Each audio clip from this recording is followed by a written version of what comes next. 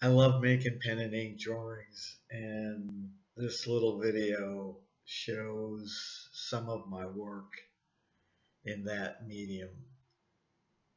I hope you enjoy them. They can be seen on my website, AstaritaArtStudio.com.